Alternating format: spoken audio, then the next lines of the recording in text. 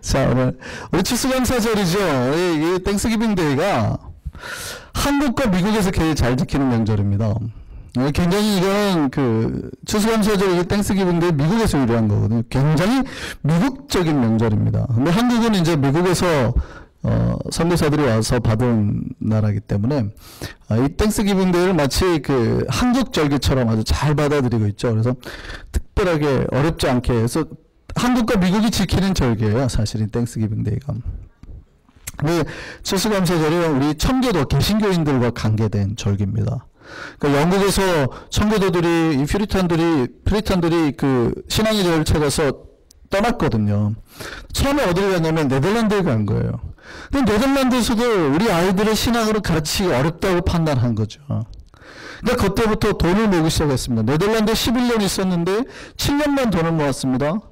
7년 동안 열심히 그 사람들이 돈 모아서 배를 샀어요. 그 배 이름이 뭘까요?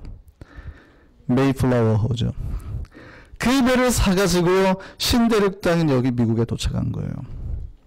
근데 그 기간 동안이 하나님의 신앙 하나 믿고 떠난 사람들이거든요. 마치 아브라함 하나님 불렀을 때 내가 너에게 지시할 땅으로 가라. 그 메시지 하나 신앙의 자유로 찾아서 떠난 거예요. 근데 그 기간이 10년이 넘는 기간이 그들에게는 평탄한 하나님 말씀대로 따라 나온 기간이 평탄한 삶이었을까요? 삶이었을까요? 고난의 삶이었을까요? 고난의 삶이었어요. 메이플라워에 102명이 타고 왔는데 그 중에 42명이 죽어요. 5년 동안에 42명이 죽었다고요. 내 가족이 죽고 질병과 고난과 이런 거를 다 보면서 떠났다고요. 내 신앙 하나 때문에 떠난 삶이 결코 쉽지 않았다 이 말이에요. 왜 미국에 사는 우리에게 특히 한인들에게 추수감사절이 은혜가 되는 줄 알아요? 마치 꼭이 천국여행 같거든요. 멀리 떠나왔잖아요. 근데 이 습수년의 삶이 우리에게 결코 녹록하지 않은 인생이었단 말이에요. 그리고 미국 땅에 도착했습니다. 근데 미국 땅 도착했는데 쉬웠어요, 어려웠어요? 어렵죠. 먹을 게 없어요. 집 지어야죠. 뭐 교회 지어야죠.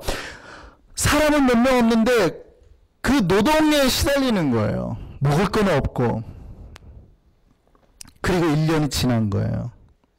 그리고 추수감사절을 맞이한 겁니다. 물론 그들에게는 감사한 사람들이 있었어요. 이들을 도와준 사람이 있었습니다. 여기 아메리칸 인디언들이요. 인디언들이 이들에게 가서 먹을 걸 주고 옥수수를 주고 씨앗을 주고 농사 짓는 법을 가르쳤습니다. 그리고 1년이 지났는데요. 그것이 풍성하게 자란 거예요. 1년 뒤에 봤더니 이것이 다 풍성하게 우리에게 은혜로 왔더라는 거예요. 그러면 이 사람들이 1년 뒤의 삶이 얼마나 감사하겠어요. 이해되세요? 이들이 1년 동안의 삶은 고달팠는데 1년이 지나고 이들의 삶이 얼마나 감사하겠냐고 이 곡식을 붙들고 엉엉 울지 않았겠어요? 그럼 이 곡식을 붙들고 이 사람들이 엉엉 울면서 첫 번째 했던 게 뭘까요? 예배드리자. 첫 번째 뭐 하자? 예배드리자. 그리고 두 번째 뭐 하자? 우리에게 도움을 준 인디안들을 초청하자. 그래서 칠면조를 잡았어요. 그때부터 추수 감사절이 시작이 된 거죠. 그래서 추수감사절은 몇 가지 의미가 있습니다. 추수감사절을 진짜로 잘 지키려는 사람들에게는 뭐가 필요하냐면요. 고난의 세월이 필요해요. 우리 인생에 고난이 필요하다고요. 그 사람이 가장 추수감사절을 잘 알아요. 그러니까 고통이 없는 사람은 하나님 앞에 감사가 나오질 않아요. 왜냐하면 감사할 게 있어야죠. 내가 다 잘한 것 같은데. 근데 정말 내 삶이 힘들었어요. 정말 고통스러웠어요. 그 사람은요, 하나님 앞에 이 감사절 때 되면 감사가 나올 수밖에 없는 거예요. 오늘 10편에 보면, 우리가 읽었던 본문을 보면 다윗이 등장합니다. 다윗은요, 고난의 세월을 가장 잘 견뎌낸 사람이에요. 그 인생 화려한 20대, 20살에서 사, 30살까지 10년을요, 고난의 세월을 사는 거예요. 마치 청교도들이 11년간 고난의 세월을 살았듯이 10년 동안 광야에서 누군가가 나를 죽일지 모르는 살해 위협 속에 살았다고요. 자기를 죽이려 했던 사람이 누구예요? 자기 장인? 사울이에요, 사울. 그러니까 그 10년 동안 누군가 나를 죽일지 모른다는 불안감과 공포 속에 살았다고요. 그래서 다윗이 그렇게 찬양하는 거예요. 그 모든 것을 이겨냈더니 하나님께서 우리에게 뭘 갚으시더라? 복과 은혜로 갚으시더라. 그래서 본문 오늘 5장 5절에서 7절 이렇게 말합니다. 한 말씀 한번 볼까요? 오늘 본문 5절 7절. 우리 인생에 고난이 있대요. 그런데 우리 인생의 이 믿음의 길, 신앙의 길 떠날 때에 우리에게 이렇게 부탁합니다. 같이 한번 읽겠습니다. 시작. 내 길을 여호와께 맡기라. 고난의 길인데 이 길을 여호와께 맡기라고 말하는 거예요. 신앙인들에게. 그리하면 뭐래요? 그를 의지하면 누가 이루시고 그가 이루시고 우리 앞에 모든 문제를 그가 바꾸신다는 거예요. 그가 만들어내겠다는 거예요. 그 다음에요. 내 의를 빛같이 나타내시고 내 고민을 정오의 빛같이 하시리로다. 그럼 그 다음에 우리가 해야 될 건 뭐예요? 같이 있습니다. 시작. 여호와 앞에 뭐하고? 잠잠하고 참고 기다리라. 언제요? 언제까지? 하나님이 곡식의 완성으로 거둘 수확할 때까지. 이 하버스트의 철이 올 때까지. 곡물을 거둘 때까지. 왜냐하면 그때까지는 기다려야 되는 거예요. 참고 기다리라. 때로는 저 악한 것이 더 잘 되는데 나한테 못된 짓 하는 것이 더 잘 되는데 그런 거 생각하지 말고 뭐 하지 말라요? 불평하지 말라. 여러분 고난의 때가 있습니다. 하나님 우리에게 뭐 하라 그래요? 참고 기다리라. 누가 만들어내겠다고요? 누가 복으로 갚겠다고요? 하나님께서. 그래서 이 고난의 때를 이렇게 겪은 사람들에게 그 다음에 나오는 게 뭐예요? 하나님 앞에 감사가 나와요. 하나님 내가 주님 말씀 들고 내가 참고 이겨냈습니다. 그리고 1년이 딱 지나갖고 이제 하나님 앞에 추수감사절 때 있다고 왔어요. 뭐 해야 될까요? 하나님 이제 나에게 뭘로 갚으시고 복으로 갚으시잖아요. 우리에게 먹을 걸 주시고 생명을 지키고 이제 삶에 잘될것 풍성한 것들로 막 베풀어 주시잖아요.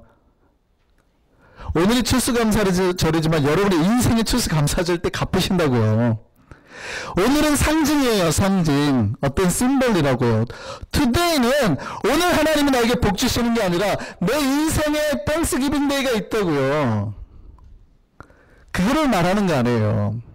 그거를 바라는 거예요. 그러니까 그걸 아는 사람, 그거를 받은 사람은 하나님 앞에 뭐 하는 거예요? 감사하는 거죠. 특별히 1년 동안 우리 가족을 지켜주신 하나님께 감사하는 거예요. 그래서 고난의 세월을 살았던 사람이 하나님의 은혜를 발견하고 하는 것이 뭐냐면 감사해요. 오늘 본문 4절 읽습니다. 시작. 여호와를 기뻐하라. 그가 네 마음의 소원을 이루어 주신다. 하나님이 우리 마음의 소원을 이루어 주신 날. 하나님 앞에 우리가 뭐 하고 나아갈까요? 기쁨으로, 감사로 나아가야 되는 거예요. 그래서 오늘 우리가 하나님 앞에 기쁨과 감사로 나아갑니다. 그동안에 제가 아까 모두 말씀드렸는데 우리가 이렇게 찬양을 드디어 준비한다는 것을 저는 굉장히 감격했습니다. 이렇게 예배를 준비한다는 것에 제가 감격했다고요. 제가 우리 교회 온 지 3년 만에 아 우리 교인들이 드디어 예배가 뭔지 깨달았구나. 예배는 하나님 앞에 우리의 시간을 드리고 삶을 드리고 땀을 흘려서 드리는 거예요. 주일날 와가지고 구경하고 가는 분들은 구경꾼이에요.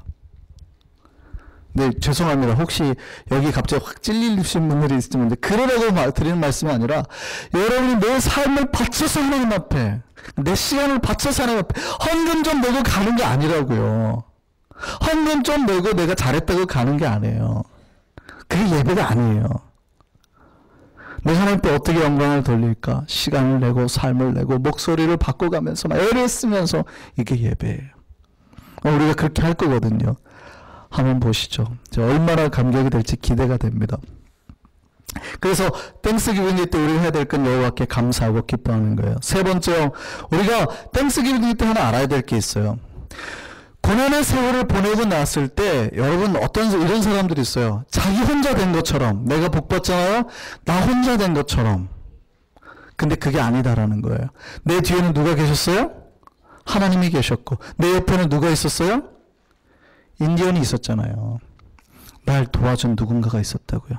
그래서 Thanksgiving Day 때는 반드시 주변을 보는 날입니다. 그러니까 음식을 몽땅 차려놓고 혼자 먹는 날이 아니라 누구를 초청해야 돼요? 지금까지 나를 도와줬던 분들, 날 위해 기도해줬던 분들, 나의, 나에게 뭐 조언을 해줬던 분들, 이런 사람들, 아니면 가난하고 힘든 사람들을 다 초청해서 같이 share하는 날이에요. 혼자만 먹는다고 하면 절대 Thanksgiving Day가 아니에요. 은혜를 경험한 사람들은 그게 뭐예요? 은혜를 베푸는 거예요. 고난받았던 사람 중에 이렇게 하는 사람이 있어요. 고난을 이해하는 두 부류의 종류의 사람이 있습니다. 어떤 사람은 내가 힘든 삶을 살았으니까 고난받은 사람, 사람, 힘든 중에 있는 사람 보면 힘들지. 내가 겪어봐서 잘 알아. 이렇게 하는 사람이 있고 어떤 사람은요. 야, 그렇게 겪어봐야 돼. 나도 그렇게 살았어. 더 겪어! 이런 사람이 있다고요. 그 크리스천은 어느 쪽일까요? 전자일까요? 후자일까요? 예, 네, 전자예요. 크리스천은 왜요? 내 힘으로 혼자 살지 않았거든요.